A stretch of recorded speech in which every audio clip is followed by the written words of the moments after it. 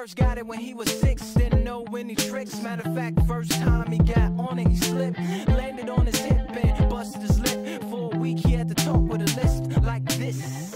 Right. So, um, in the next slide, okay, I'm going to go over the formula for um, our Riemann sums. So what you'll see is something like S sub n comma m, and that's going to equal the sum. So this is the symbol for sum, as i um, goes from 1 to capital N, and the sum from j equals 1 to capital M. Um, and I'll let you know what all this notation means, because it does look confusing, I admit. Um, and this is f evaluated at p, i, j, um, and then delta xi and delta yj. Okay, so yes, this does look intimidating, but I'll break down what all the variables mean. So S just means your sum, your Riemann sums, um, and N is the number of subintervals intervals um, of x. Okay, uh, M on the other hand, as you could probably guess, is the number of, su of intervals of y. Okay, so if they give you 3 here and 2 there, then you'd know that you have to divide um, your x interval into three different um, sub intervals, and so on. Um, okay, and these both mean sum of. Um, it's just a fancy way to write it. So that just means sum of so sum means adding, right? Adding stuff. Um, okay, and now moving on to this part, the f of pij. So these uh, are basically when you're given the f of xy, um, you're going to be given this function, right? And then at each of those points, the midpoint or the upper left corner or whatever um, you have to do, the this this f of pij, um, pij is just like the points that you choose within those rectangles. This represents the value of um, f of x comma y at a given point in your small rectangle. In your small rectangle. The ones that we form, right, by dividing the big rectangle. Okay, and now we're left with these two at the end here. So I'm going to say that delta x sub i. So anytime you see delta, this triangle here, that just means change in. Um, that's what it's commonly used for in math. So that means change in x. Um, and then i here, that's just because, I think. I, I really don't want, know why it's there. But um, yeah. So what this is, uh, how you would calculate that is b minus a so this is the end point of your interval to the beginning minus the start point divided by capital N, okay, which is your number of subintervals. And then uh, delta y, j, on the other hand, is going to be d minus c over capital M, okay? All right, so keep all of this in mind, and we're going to try to tackle an example. All right, so let's say we're given the following problem. Double integral over d, our domain, of xy, and then dA. All right, so we're going to approximate this using Riemann sums, um, and it's the problem also gives this. So this is a given. Let d equal 1 to 4 times 1 to 3. Okay, so this will all be given, and then uh, they'll tell us calculate, calculate um, S sub 3 comma 2 using upper left, upper left um, sample points. Okay, so what we have here, let's look at our given information. So we're calculating the double integral, which is what I've been talking about um, and introducing. We're given the domain here. And the first um, set, or brackets, that corresponds to x. So x will go from 1 to 4. And this second set here corresponds to y. So y goes from 1 to 3. Okay. Um, and this s sub 3 comma 2, um, we figure out that n equals 3 and capital M equals 2, all right?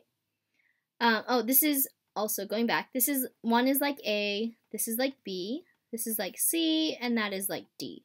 Um, those are the variables that I've been using so far. And we're also given upper left sample points. So what I would suggest for um, Riemann sums like this is to draw out what it looks like on the xy plane.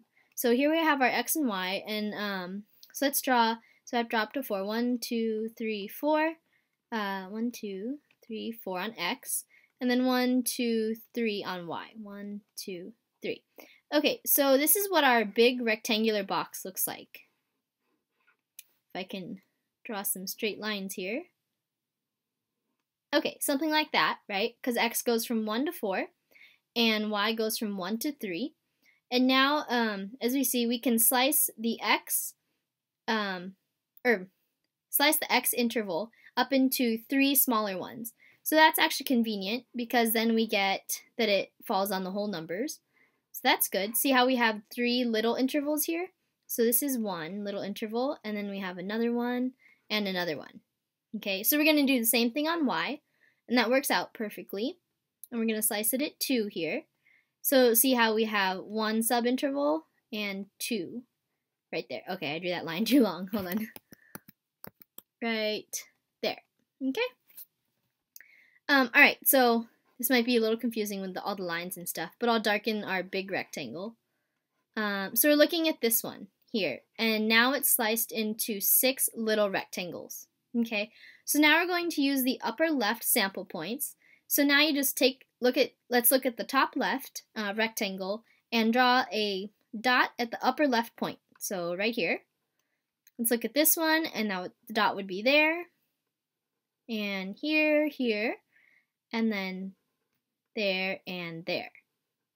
Okay, so um, now what we're going to do, we have a lot of the information already, and we know that our f of x comma y equals xy, as is given in the problem, right? Um, we also need our delta xi. So delta xi equals b minus a, b minus a over capital N. All right, so b is 4, so 4 minus 1. 4 minus 1 over 3 equals 3 over 3, which is just 1. So that's good. And then our delta yj is d minus c, so 3 minus 1. Uh, okay, so d minus c over capital M. So that's 3 minus 1 over capital M, which is 2. And that also equals 1.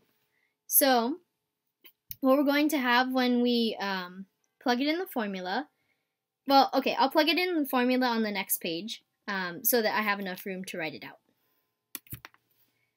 All right, so this is our formula here. So we have our um, double integral evaluated over the domain of xy uh, dA. So this is going to be about, by the Riemann sums, and I'll write it out formally here. So then that goes from one, I goes from 1 to 3, um, and J goes from 1 to 2. And then we have our f of Pij, and Pij, you can just kind of think of that as your sample point, sample point. Okay, and there's only one listed here because we're going to evaluate it at each sample point and then add them up. This just means add everything up. Add um, everything. add everything. Okay, and then our delta xi and delta yj. All right, so this is how we're going to execute it. Is um, we have our delta xi and delta yj. So those were each one, right? We evaluated each of those to be um, the value of 1. So this is just 1. So that doesn't really matter, actually. Um, so we could even put the 1 in front. And then we have to add up all of our f of x, y's evaluated at each of our sample points. And in this case, we're going to have six um, different values because we had six different sample points, right, at the upper left corners. So, um, ooh, okay. So I'm actually going to sketch out the graph again so you guys can see um, what it looked like. Alright, so bear with me here. I'm just kind of estimating. Okay, so this is, vertical lines are very hard when you can't turn a paper. Okay, that was actually pretty good. So this is one, two, three, four, and then this is one, two, three, and here's our, the rectangle we are concerned with, um, right here. Okay, there we go. So here's our sample points. They're on the upper left corners of the small rectangles. So the first one, um, we have the point 1, 3, right? So we're going to evaluate f at 1, 3. And then we're going to add it to, because we're adding everything. Uh, and then we'll do the next one, 1, 2. So f of 1, comma 2. And then let's move on to the next one, 2, 3. And these can go in any order since we're just adding them, right? 2, 3, and then we have 2, 2, 2, 2. Um, and then we have plus, and then there's 3, 3, f of 3, 3. And our last point here is 3, 2. So f of 3, 2. Okay? So then at this point, now we just plug in, so this is our, in each of these, um, that's our x and that's our y, and you just plug it into the formula. So, and this one is just kind of sitting there in front. So we'll just uh, make it invisible in the next step. So f of 1, 3 is going to be 1 x times y, 1 times 3, plus, and we do the same thing for all of them. 1 times 2 plus 2 times 3 plus 2 times 2. And you're not going to do this in every single um, Riemann sums calculation. I'm just multiplying the two numbers just because that's what our formula says to do. Okay. If we had something like x plus y, then I would do like 1 plus 3 in parentheses plus 1 plus 2 in parentheses, and then etc. But we don't have that. We have x times y.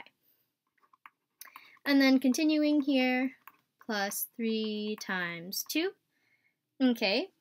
And then um, what our final answer ends up being is 30, I believe. that's what I calculated. So, okay. So that's how you do a Riemann sums um, approximation. Okay, so now on to the next topic.